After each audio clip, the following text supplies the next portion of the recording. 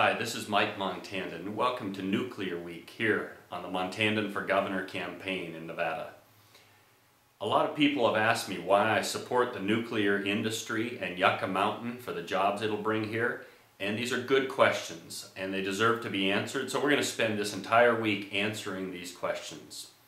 First, the nuclear industry represents a safe industry akin to gaming and mining and some of the other great industries we have in Nevada. Yucca Mountain is not a dump, but it's a temporary repository for spent nuclear fuel that has up to 95% of its useful life left in it. It can be a very valuable asset to Nevada.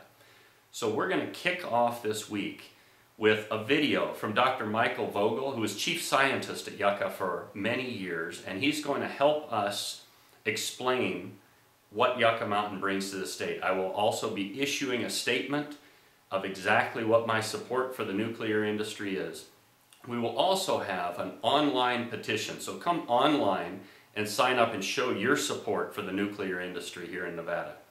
We're going to follow up on Tuesday with additional endorsements from major scientists and also a contrast as to where I stand versus my opponents in this race. On Wednesday, we will have an online town hall where we'll be discussing what the nuclear industry has to offer for Nevada.